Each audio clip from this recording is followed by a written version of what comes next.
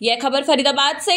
आगामी विधानसभा चुनाव के मद्देनजर पुलिस आयुक्त ओम प्रकाश नरवाल आईपीएस के नेतृत्व में फरीदाबाद पुलिस ने अर्धसैनिक बल के साथ निकाला फ्लैग मार्च।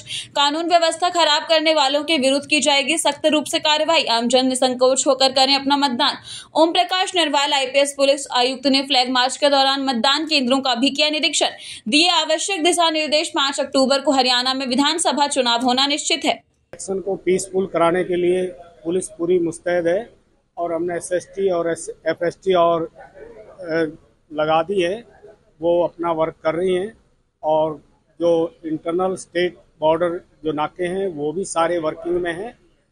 और हम बिल्कुल फ्री एंड फेयर इलेक्शन कराने के लिए हम पूरी मुस्तैदी के साथ हैं। कोई भी इलेक्शन के दौरान, कोई भी बैड एलिमेंट जो है, शरारत करने का प्रयास करेगा, उसके खिलाफ जो सख्त से सख्त कार्रवाई करेंगे। और इलेक्शन बिल्कुल पीसफुल कराएँगे। शहर में अपराधियों को साफ़ तौर पर देखा जा रहा है कि शहर में क्राइम कहीं ना कहीं उथल पुथल मचती है। तो क्या लगता है चुनाव में ऐसी कोई घटना सामने आ सकती है अपराधियों की नज़र रखी जा रही है? बिल्कुल जो अपराधी हैं उन पर नज़र रखी जा रही है। जो हम हमारे पास एक लिस्ट है उनको भी हम थाने बुला करके उनसे बातचीत कर रहे हैं और उनको समझा रहे हैं कि इलेक्शन के दौरान कोई इस तरह की बैड एक्टिविटी या कोई वायलेंट क्राइम करने वाले जो है उन पे सब पे हमारी नज़र है और पैनी नज़र है। किसी को जो है, सिर नहीं उठाने देंगे और फरीदाबाद की जनता जो है फ्री एंड फेयर इलेक्शन कराएँगे और फरीदाबाद की जनता निसंकोच होकर के अपनी वोट डाले। किसी भी तरह का कोई अप्रिय घटना नहीं होने बात की जाए फरीदाबाद में, आज के हालात, मौसम बदला हुआ है, बारिश तेज आ रही है, पूरे शहर में पानी, जलभराव की समस्या होगी।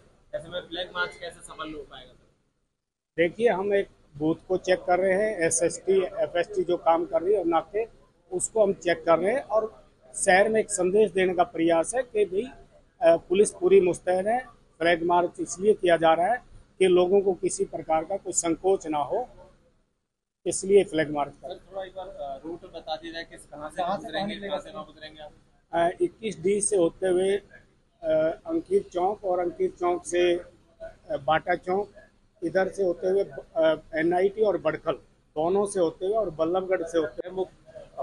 माहौल में अपने वोट का प्रयोग करें और साथ ही जितने भी हमारे चाहे कैंडिडेट हो गए या फिर बाकी अगर हम कहें अ, अगर जो शरारती तत्व भी होते हैं तो उनको भी हम मैसेज देना चाह रहे हैं कि इलेक्शन पूरे बढ़िया तरीके से हम करवाएँगे और कोई भी अगर लापरवाही या कोई भी इशू होता है तो, तो एक्शन हम ज़रूर लेंगे।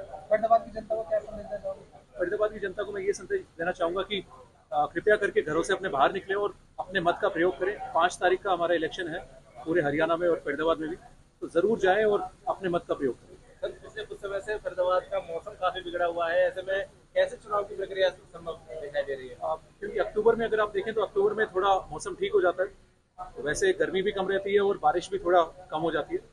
तो मौसम मेरे ख्याल ठीक ही रहेगा उसमें और लोग आराम से अपने मत का प्रयोग कर पाएँगे। साथ ही मैं बताना चाहूँगा कि हमने अब की बार वोटिंग परसेंटेज बढ़ाने के लिए